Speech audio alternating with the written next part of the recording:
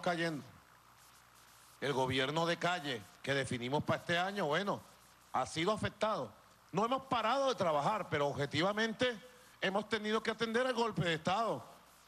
Porque no, sería un irresponsable yo y nosotros, si hay un golpe de Estado activado aquí y a nivel mundial una campaña de golpe de Estado y nosotros nos hacemos los locos y nos vamos por el país. No, se equivocaron con nosotros, los que creen que nos vamos a hacer los locos, no. Hemos enfrentado el golpe de Estado, lo hemos neutralizado, ya está derrotado, aunque anda por ahí todavía con algunas candelitas.